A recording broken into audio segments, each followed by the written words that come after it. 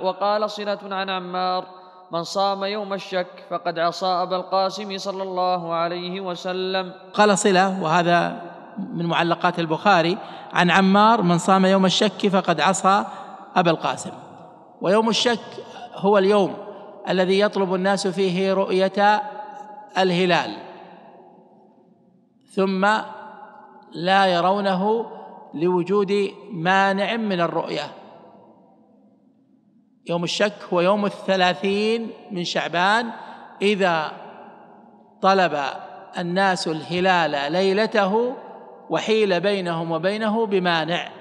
أما إذا طلبوه ولم يروه طلعوا ولا فيه صح آه، قتر ولا فيه سحاب والجو صافي ولم يروا الهلال فهذا لا يسمى يوم الشك لأن هذا من شعبان يقينا أو غالبا. غالب الظن أو أو اليقين. فالشهر إما تسعة وعشرون وإما ثلاثون. إذا يوم الشك الذي نهي عن صيامه هو يوم الثلاثين من شعبان إذا حال دون رؤية الهلال ليلة الثلاثين غيم أو قتر. اضبطوا هذا لأنه يلتبس على الناس ما هو يوم الشك. بعض الناس يظن يوم الثلاثين من شعبان مطلقا هو يوم الشك وليس كذلك.